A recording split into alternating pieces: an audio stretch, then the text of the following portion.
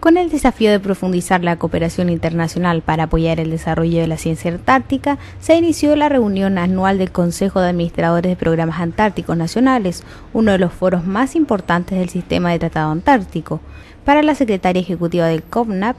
este encuentro permitirá que los programas antárticos 26 países discutan nuevos mecanismos de colaboración y mejores prácticas con el fin de optimizar los recursos económicos, logísticos y científicos de la comunidad del sexto continente. En tanto, José Retamales, director de INACH, expresó que es una reunión muy importante para ellos, donde tratarán diversos temas de interés de cada uno de los participantes, lo que tiene relación con el continente blanco.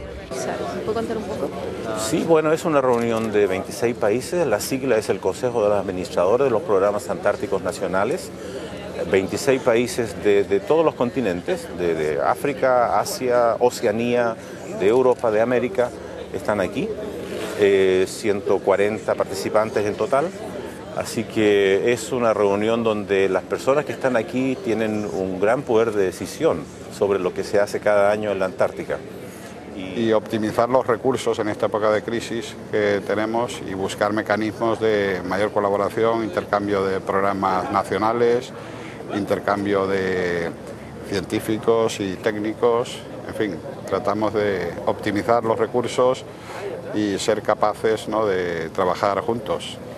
Entre los temas que se tratarán en el encuentro se destaca la necesidad de compartir recursos como barcos y aviones y la posibilidad de trabajar en acuerdos que permitirán la adquisición de la mayor parte de combustible requerido para el funcionamiento de embarcaciones y bases. La reunión organizada por el Instituto Antártico Chileno INACH, servicio dependiente del Ministerio de Relaciones Exteriores, congregará a 120 personas del 3 al 6 de agosto en el Centro de Convenciones del Hotel Dreams. Importante será el tercer día destinado a reuniones bilaterales y multilaterales tendientes a fortalecer el trabajo conjunto en áreas geográficas como la península antártica, donde trabajan 15 programas científicos.